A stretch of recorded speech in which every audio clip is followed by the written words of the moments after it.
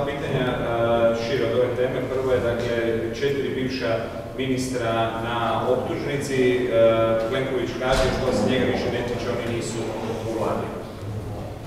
Da, ta razina cinizma, pa reći ću i jedne razine potpune odjeljenosti od građana, od demokratske kulture, i od onoga što bi bio nekakav normalni demokratski standard u svakoj državi je zapaljujuća.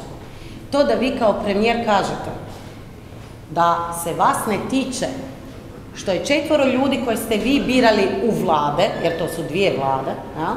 Tolušić je bio u prethodnom mandatu, da je to četvoro ljudi završilo sa potvrđenim optužnicama, da se to vas ne tiče to kada kaže premijer, njega to delegitimira od mogućnosti da bude premijer. Ja ću vam dati jednu vrlo banalnu usporedu. Recite mi, koji direktor bilo kojeg poduzeća bi da mu najviši, najviše pozicije u firmi naprave nešto zbog čega završe u zatvoru ili u, na optužnici, bi rekao da se to njega ne tiče i da on nema na tim kontrolu a premijer, premijer to govori za svoje ministre. Dakle, to je potpuno nedopustivo. Još jedna stvar koju je potpuno krivo rekao. On je jučer izjavio da je to, ta činjenica da su potvrđene optužnice, da je to otprilike stav Dorha i Uskoka. Kao stav, to je njihovo mišljenje. To nije njihovo mišljenje. Dakle, optužnice se potvrđuju od strane suda u trenutku kada postoji dovoljno dokaza da je počinjeno kazneno djelo. To znači da za, u ove četiri optužnice postoji dovoljno dokaze da je kazneno djelo počinjeno pod kime? Pod nadzorom i pod izborom Andreja Plenkovića.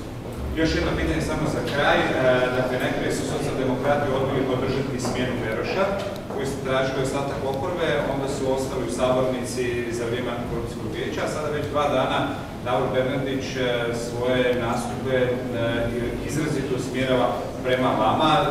Kako doživljavate tu strategiju socijaldemokrata? Pa prvo, to je strategija koja naravno pomaže HDZ-u. Da li je to njihova svjesni odabir ili ne, ne znam šta je gore. Ako to svjesno rade, grozno je. Ako to nesvjesno rade, onda su zaista politički diletanti. A, druga stvar, ja sam Davoru Bernardiću jučer i rekla, potpuno je legitimno naravno da se on bori za poziciju političku, gradonačelničku ili bilo koju drugu, ali da mora znati da će mora dolaziti na posao. Jer naime na posao u Saboru on vrlo rijetko dolazi, osim kad se ovdje treba cvikat, a o njegovoj aktivnosti u Saboru govori saborska statistika, pa pogledajte koliko se puta uopće javio za riječ u parlamentu u cijelom ovom sastavu.